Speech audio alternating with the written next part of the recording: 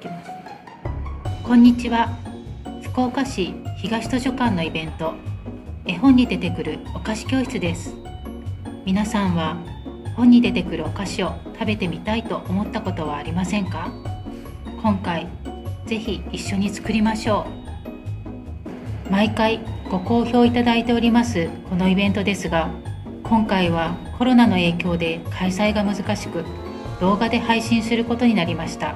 こんにちは。今回は昨年好評だった不思議の国のアリスに出てくるような可愛いいりんごのバラのアップルパイを作ります。